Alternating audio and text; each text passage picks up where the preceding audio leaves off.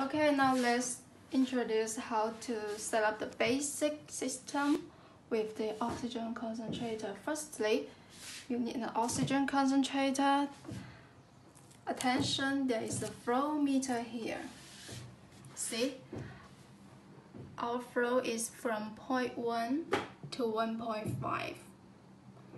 There's no more than 1.5 liter per minute of the whole system and then they, you need a tube to connect it to the oxygen outlet and the other side connect it to the oxygen inlet of the device. Open the cap of the O3 port and use these, the three-way three stopcock to connect here to connect to the left side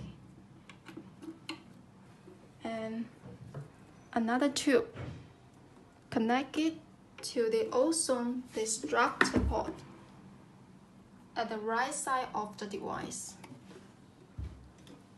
Now, let's do how to use the oxygen concentrator.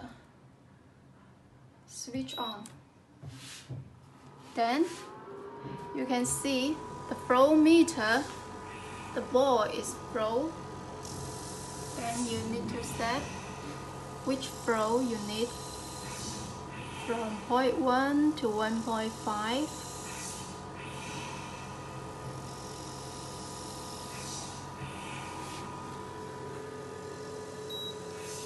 That's all.